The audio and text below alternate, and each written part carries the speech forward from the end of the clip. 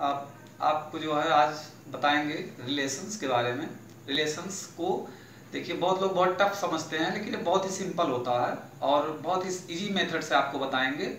और मेरे वीडियो को आप जो है लाइक और सब्सक्राइब सब्सक्राइब करें और शेयर भी करें, ठीक है? दोस्तों को भी बताएँ और आपको गारंटी मैं देता हूँ कि आपको हंड्रेड परसेंट समझ में आएगा, ठीक है?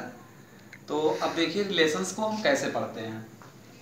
रिलेशंस रिलेशंस सिक्स टाइप्स के आपको पढ़ने हैं। फ़र्स्ट होता है बॉयड और इम्पटी और नल रिलेशन दूसरा होता है universal relation identity relation reflexive relation और फिफ्थ है सेपेक्टिव रिलेशन और सिक्स है ट्रांसटिव रिलेशन ये लास्ट के जो तीन रिलेशन होते हैं, इसको इक्विवेलेंस रिलेशन कहते हैं। ठीक है? अब वन वन मैं आपको समझाऊँगा कि कैसे होते हैं। एक एक एग्ज़ाम्पल दे करके।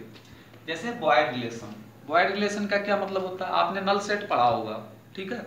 नल सेट में क्या पढ़ा था? कि जैसे उसमें कोई एलिमेंट नहीं होता है तो क्या होता है? नल सेट होता है या इम्पटी सेट होता है, ठीक है? वैसे इसमें इम्पटी रिलेशन में भी कोई रिलेशन जब नहीं होगा तो उसे हम कहेंगे बॉयड रिलेशन ठीक है?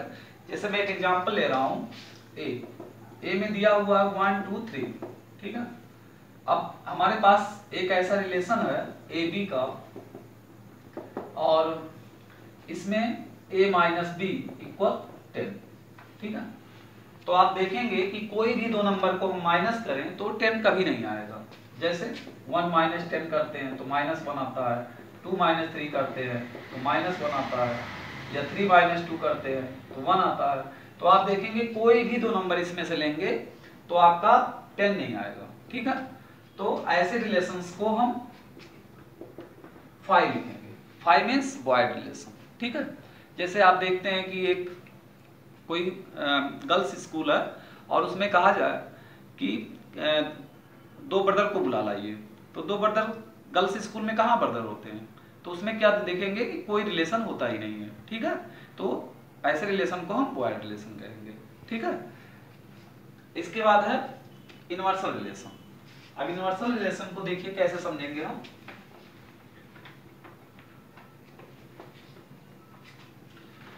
इनवर्सल रिलेशन के लिए, जैसे मान लीजिए कि दो बच्चे हैं स्कूल में, और दोनों के बीच तीन मीटर का डिफरेंस है। तीन मीटर का डिफरेंस है, इसका मतलब क्या हुआ? दोनों बच्चे यूनिक होंगे। तीन मीटर का डिफरेंस का मतलब हो गया बहुत ज़्यादा डिफरेंस ठीक है? इस तरह का अगर डिफरेंस पाया जाएगा तो दोनों बच्चे क्या होंगे? दोनों बच्चों के बीच कैसा रिलेशन होगा? वो इनवर्सल रिलेशन होगा, ठीक है? अब इसको हम कैसे दिखाते हैं? A cross A subset A cross A, ठीक है? इसको इस तरह से हम दिखाते हैं। ठीक है? इसके बाद आता है आइडेंटिटी रिलेशन आइडेंटिटी रिलेशन को हम कैसे समझेंगे? Let A one two three ये सेट है हमारे पास। तो आइडेंटिटी रिलेशन के अंदर क्या होना चाहिए? Every element of A related to itself only इसका डेफिनेशन होता है। इसका मतलब वन वन के साथ रिलेशन होना चाहिए। टू का टू के साथ होना चाहिए और थ्री का थ्री होना चाहिए, ठीक है? तो ये आपका हो जाएगा आइडेंटिटी रिलेशन, ठीक है? इसमें और कोई एलिमेंट्स नहीं होने चाहिए। मतलब वन का वन के साथ, टू का टू के साथ, थ्री का थ्री के साथ। Every identity relation is a reflexive relation but every reflexive relation may not be identity relation तो ये आपका आइडेंटिटी रिलेशन हो गया। अब अभी आपको पढ़ना है रिफ्लेक्सिव रिलेशन रिफ्लेक्सिव रिलेशन को कैसे करेंगे? इसी सेट के लिए देखिए। One one two two three three one three ठीक है? ये आपका रिफ्लेक्सिव रिलेशन है। ये भी रिफ्लेक्सिव है, ये भी रिफ्लेक्सिव है। इसमें देखिए every element of A related to itself और इसमें देखिए वन का वन है टू का टू है थ्री का थ्री है। इसमें और ज़्यादा भी है, ठीक है? इसमें ज़्यादा भी हो सकते हैं। तो रिफ्लेक्सिव रिलेशन में इटसेल्फ होना चाहिए और एक्स्ट्रा भी हो सकता है। सेमेट्रिक रिलेशन सेमेट्रिक रिलेशन को आपको कैसे समझना है? जैसे मान लीजिए हमारे पास ऐसा रिलेशन है। One two two one one three three one ठीक है? ये हमारे पास तो आप इसको देखेंगे ऑर्डर को चेंज करेंगे। वन को यहाँ रखेंगे टू को यहाँ रखेंगे तो इसका चेंज करने के बाद ये मिल जाएगा। इसको देखिए वन थ्री है, इसका ऑर्डर चेंज करेंगे तो थ्री वन थ्री वन इसके अंदर मिल रहा है तो ये हमारा सिमेट्रिक रिलेशन हो जाएगा। कभी कभी क्या होता है कि इस तरह से हो जाता है, जैसे one two one three three one अब ये हमें देखना है कि सेमेट्री है कि नहीं। देखिए, इन दोनों में सेमेट्री है। बट इसमें सेमेट्री नहीं है, ठीक है? जैसे वन टू मिल रहा है लेकिन टू वन इसका नहीं मिल रहा तो ये सेमेट्री नहीं है।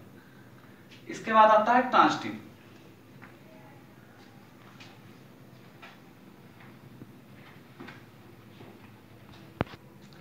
हाँ देखिए ट्रांसटिव रिलेशन कैसे हम करेंगे? एक मैं पहले एग्जांपल लेके समझा रहा हूँ आपको। जैसे आर ले लिया। One two two three one three ठीक है? ए है वन टू थ्री ठीक है? अब इसमें देखेंगे कि ट्रांसटिव कैसे है। देखिए, इसमें इसका सेकेंड एलिमेंट और इसका फ़र्स्ट एलिमेंट ठीक है? इन दोनों को अगर हम देखें हाँ देखिए ट्रांसटिव रिलेशन कैसे समझेंगे? जैसे इसमें हमने देखेंगे क्या इसका सेकेंड एलिमेंट और किसी और बी ऑर्डर पेयर का फ़र्स्ट एलिमेंट मिलना चाहिए। अगर मिल रहा है तो इसको हम कैसे लिखेंगे? One two belong to R and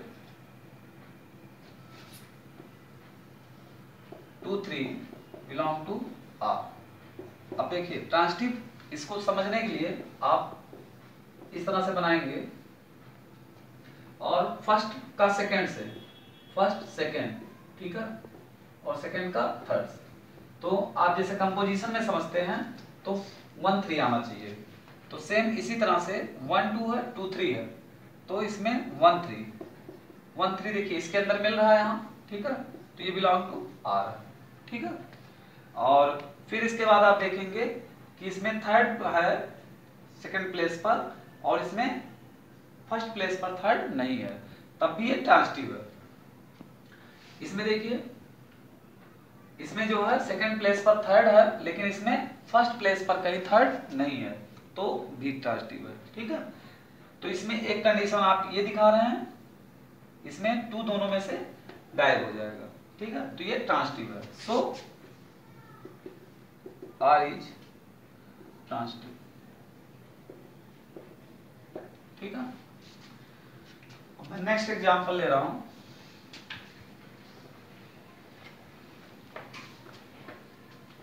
देखिए one A two B three C देखिए, इस तरह के एग्जांपल्स में हम ट्रांसटिव कैसे चेक करेंगे? बहुत कंफ्यूजन होता है। तो इसमें आप देखेंगे कि इसका सेकेंड प्लेस ए है और ए किसी भी ऑर्डर पेयर में फ़र्स्ट प्लेस नहीं है, ठीक है? तो आप क्या करेंगे यहाँ, ये ट्रांसटिव भी है। अब देखिए, यहाँ से जैसे टू बी है तो इसमें सेकेंड प्लेस पर बी है, लेकिन किसी भी ऑर्डर पेयर में फ़र्स्ट प्लेस बी नहीं है। ठीक है? और यहाँ भी देखेंगे कि थ्री और सी है। तो सी सेकेंड प्लेस पर है, लेकिन किसी भी ऑर्डर पेयर में फ़र्स्ट प्लेस पर सी नहीं है। ठीक है? तो आप लिखेंगे कि ये ट्रांसटिव है अब कैसे करते हैं? देखिए। Since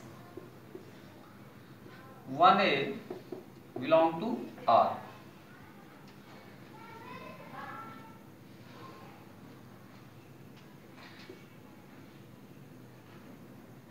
R is हाँ देखिए इसमें। There is one A belong to R and there is no order pair in R there is no order pair in R which has A as the first element मतलब second second element ए है तो first पर ए नहीं है। ठीक है? Same इसी तरह से इसके लिए भी लिखेंगे। Similarly similarly two B and three C as same so R is transitive इस क्वेश्चन में बहुत ही कंफ्यूजन होता है तो आप समझ लीजिए कि सेकंड प्लेस पर अगर ए है तो फ़र्स्ट प्लेस पर ए नहीं है, ठीक है? तो हमारा क्या होगा? इस तरह से लिखेंगे और ये हमारा पूरा कंप्लीट सोल्यूशन हो जाएगा। ठीक है? इसमें कंफ्यूज होने की ज़रूरत नहीं है, बस इस टाइप के क्वेश्चन ऐसे ही करना है। हाँ देखिए इक्विवेलेंस रिलेशन इक्विवेलेंस रिलेशन में हम क्या करते हैं? एक पैरेलल लाइंस इसमें ले लेते हैं, ठीक है? अब पैरेलल लाइंस के लिए एक ऐसा सेट लेते हैं, इसमें पैरेलल लाइंस का फ़र्स्ट रिफ्लेक्सिव इसमें रिफ्लेक्सिव पहले दिखाना पड़ेगा, ठीक है? रिफ्लेक्सिव रिफ्लेक्सिव में let L1 L1 belong to L, ठीक है? L क्या है? L सेट ऑफ़ लाइंस है। L1 L2 L3 up to so on बहुत सारी लाइंस है। इसमें क्या करेंगे? L1 पैरेलल टू L1 कोई भी लाइन एक सिंगल लाइन इससे पैरेलल होगी। ठीक है? तो यहाँ से लिख सकते हैं L1 L1 one belong to R so R is reflexive second symmetric symmetric relation symmetric relation में देखिए इसमें एक और लाइन ले लेते हैं। L1 L2 के पैरेलल है तो लिखेंगे let L1 L2 belong to R sorry belong to L L1 L2 belong to L, such that L1 L2 belong to R implies that L1 parallel to L2 L1 L1 L2 के parallel है तो L2 L1 के parallel होगा implies that L2 parallel to L1 this can be written as L2 L1 belong to R so R is R is symmetric so R is symmetric third case transitive. हाँ देखिए, transitive में transitive में हमेशा three lines आपको लेना पड़ेगा, ठीक है? L one L two L three belong to L L mean set of lines such that L one L two belong to R and L two L three belong to R implies that L1 parallel to L2 and L2 parallel to L3 आप देखेंगे L1 L2 के parallel है L2 L3 के parallel है तो L1 L3 भी parallel होगा ठीक है इसके L1 parallel L3 this can be written as L1 L3 belong to R ठीक है so R is transitive तो आप देखेंगे रिफ्लेक्सिव भी सेटिस्फाई कर रहा है सिमेट्री भी सेटिस्फाई कर रहा है और ट्रांसटिव भी सेटिस्फाई कर रहा है। तो from first second and third from first second and third R is an equivalence relation equivalence relation ये इसका कंप्लीट